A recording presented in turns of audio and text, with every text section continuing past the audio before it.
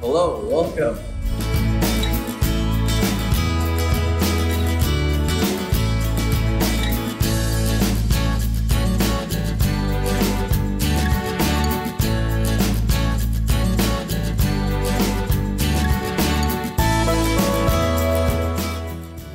Hi, this is Jordan with Buck Robertson Contracting.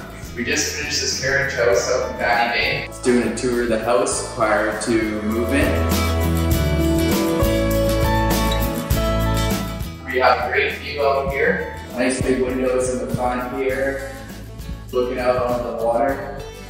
Open concept. In the living room and also in the kitchen, we went from a nine foot ceiling up to an 11 foot ceiling to make this area feel even bigger instead of just doing a flat top. We use a single split system heat pump. And in the kitchen, we went with hard countertops, stainless steel appliances, and a sink big enough that you could bathe two babies in.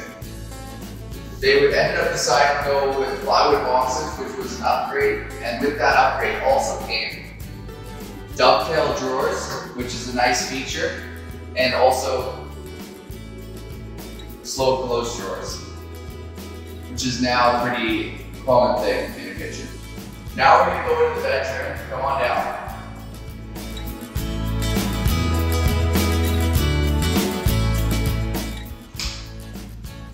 We decided that we're gonna locate the bed in this direction, having room for a bedside table to the left and a bedside table to the right. I thought we'd put a wall mount TV here, as well as have enough room for a dresser. And inside here, we have a master closet.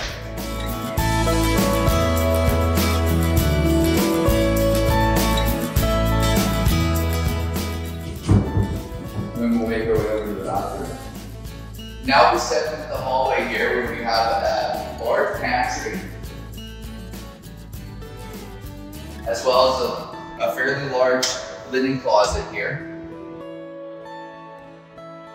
And now we're gonna go step into the bathroom. It has a huge mirror that has a TV in behind here, which is kind of a cool feature. We have hard countertops. They went with the plywood boxes again in here with the dovetail drawers. On the floor, they went with a tile heated floor, which I think is a great feature. They ended up going with a six foot tub, a really nice set of shower doors, and a tile niche.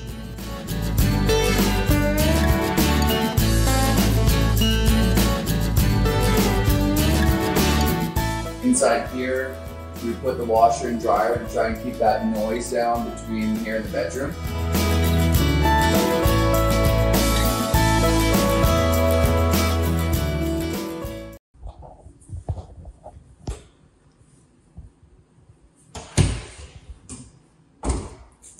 And that's the tour.